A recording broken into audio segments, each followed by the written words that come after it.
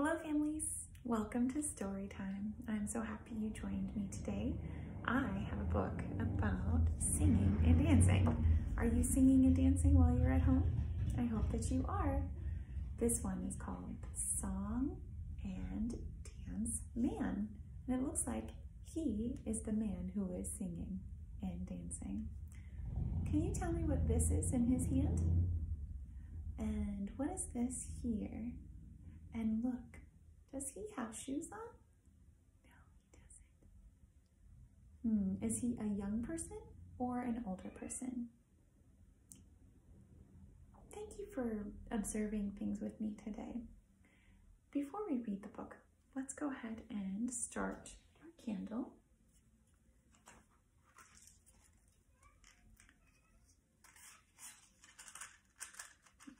Lots of matches. Now on the tip of the match is something to help it to ignite. And when you rub it against this surface here, it lights.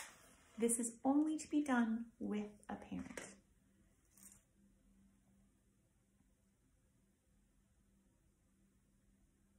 And then we blow it out. Do you see the flame? Can you see? Hmm. It's beautiful. Now you can see the light is coming in through the window and it's bouncing off of the leaves right here. And that light is what's giving energy and food to this plant. And the plant's root system is in the soil and that's absorbing the nutrients from the soil, the minerals that it needs, and then also water. So today I'm going to be watering all of my plants. And what do plants give us in return? Can someone tell me? Plants give us oxygen. And oxygen is something that we need to breathe into our lungs. And then what we breathe out is called carbon dioxide. The plants need carbon dioxide. So when we're breathing out, they take in that carbon dioxide and they work on it and they make it go into their body and then they give off oxygen. So having plants in your house, especially when you're home and indoors a lot, helps to give you fresh new oxygen into your body every day. And you're also helping the plant. Mm -hmm. So let's start our story. Oh, I forgot to put on my lavender.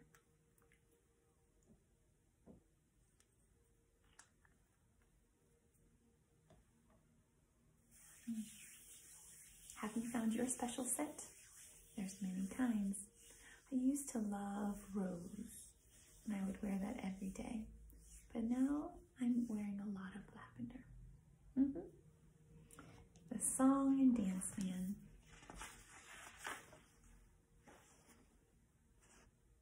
This is by Karen Ackerman. It's illustrated by Stephen Gammell. Grandpa was a song and dance man who once danced on the vaudeville stage. So here are the children who are coming to visit Grandpa. There's Grandpa sitting in his comfy chair and he's looking and seeing the children coming to visit him. Now, vaudeville was a type of theater where you would go and you would see many different people doing many different things like singing and dancing and juggling and having funny stories to tell. It was a show, and he used to perform. And it may be that now you're spending some loving time with your grandparents. Are you seeing your grandparents a lot lately? I bet you are. If mommy and daddy are working, sometimes grandma and grandpas love to see you and take care of you. I'm gonna just scoot down a little bit. So that's what these little ones are doing. They're going over to see their grandpa.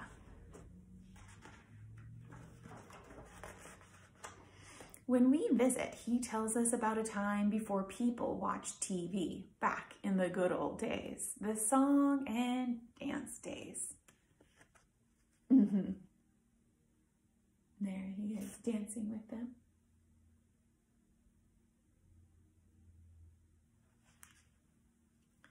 Before there was TV, before there was the internet, people used to go out to watch their entertainment, their shows. And so he was telling about the good old days. Did your grandma and grandpa tell you about your good old, their good old days? Yesterday in the garden, Joshua's grandma and grandpa were telling Joshua about their good old days. Supper in an hour, grandma calls from the kitchen. I wonder if my tap shoes still fit, grandpa says with a smile, and then he turns on the light to the attic and we follow him up the steep wooden steps. How many of you have been in an attic or have seen one? It's usually on the very top part of a building above where you live. And it's a space that usually has the things that you want to store in them. Sometimes people have attics or that space in between the roof and that floor um, that are very small, but in older houses, sometimes they're very and does anybody know what tap shoes are? Do you? I used to tap dance a long time ago. Does anybody have a class that they attend that uses tap shoes? It's a shoe and it has a little metal piece on the bottom at the toe and on the heel. And it makes clicking sounds. That is very lovely and fun. Faded posters of Grandpa when he was young hang on the walls. He moves some cardboard boxes and a rack of Grandma's winter dresses out of the way, and we see a dusty brown leather trimmed trunk in the corner. So you can see that here are the posters and they have a face of a person on it and that happens to be their grandpa. And here is the trunk that has leather trimming.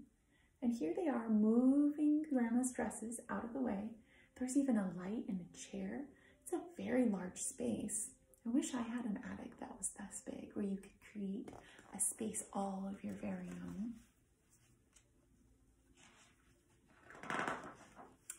As soon as Grandpa opens it, the smell of cedar chips and old things saved fills the attic. Inside are his shoes with the silver half moon taps on the toes and heels, bowler hats and top hats and vests with stripes and matching bow ties.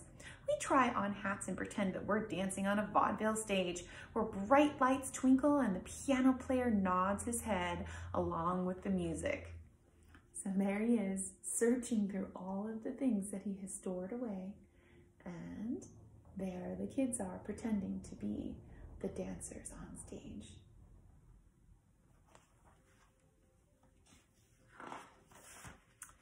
After wiping his shoes with a cloth he calls a chamois, Grandpa puts them on. He tucks small white pads inside the shoes so that his corns won't rub, and he turns on the lamps and aims them each one down like a spotlight. He sprinkles a little powder on the floor, and it's showtime. We sit on Grandpa's wooden, excuse me, Grandma's woolen blankets and clap our hands and call out, Yay, Grandpa! So he's going to put on the show for them. There he is, making a spotlight so that you could see him bright. And there the kids are, sitting on Grandma's blankets. The song and dance band begins to dance the old soft shoe.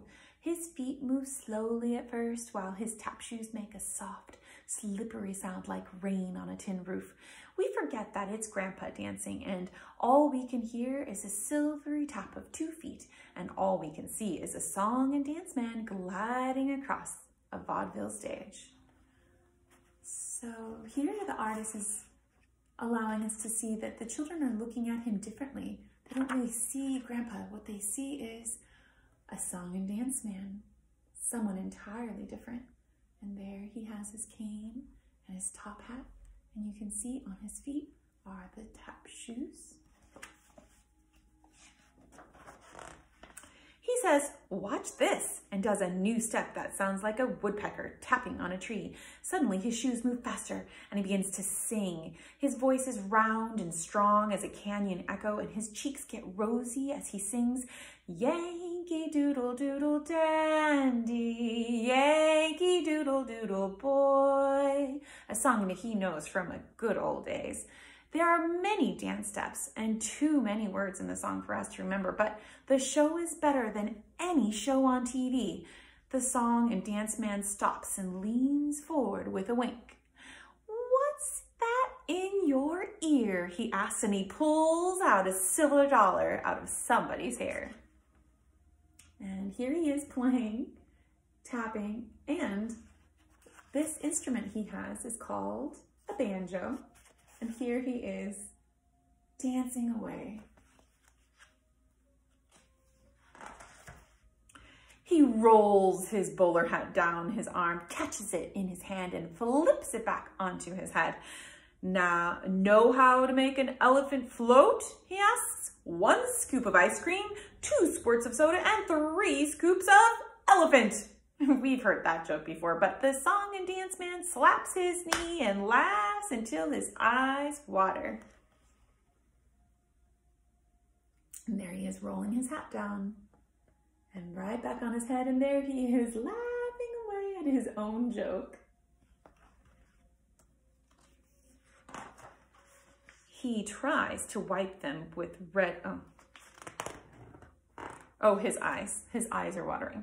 He says he tries to wipe them with a red hanky from his vest pocket, but the hanky just gets longer and longer and longer as he pulls it out and he looks so surprised that we start laughing too. And it feels like the whole attic is shaking.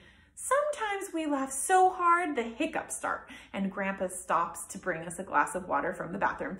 Drink slow and hold your breath, he says, or I'll have to scare you. there he is, pulling and pulling out a never ending piece of cloth. Once our hiccups are gone, he gets a gold tipped cane and a black silk top hat from the trunk. He lowers his eyes and tips his hat and he's standing very still. All lights are turned low except one that shines on the polished tap shoes. This is the grand finale. So the song and dance man takes a deep breath, lifts the cane and holds it in both hands. Slowly he starts to tap. His shoes move faster and faster and the sounds coming from them are too many to make with only two feet.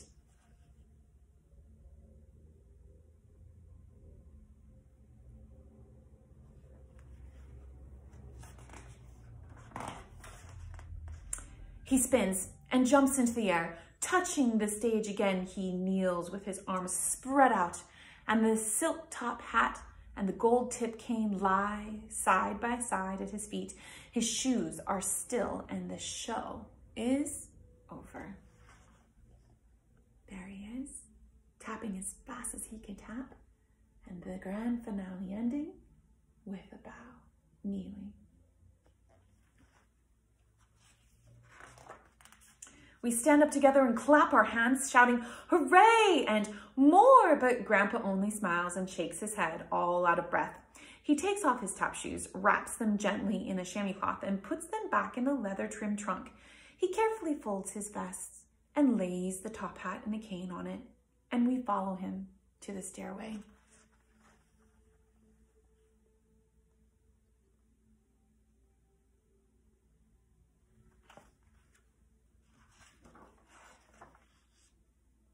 Grandpa holds on the rail as we go down the steps.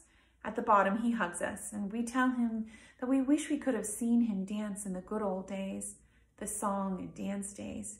He smiles and whispers that he wouldn't trade a million good old days for the days that he spends with us. But as he turns off the attic light, Grandpa glances back up at the stairs, and we wonder how much he really misses that time on the vaudeville stage when he goes, excuse me, when he was a song and dance man.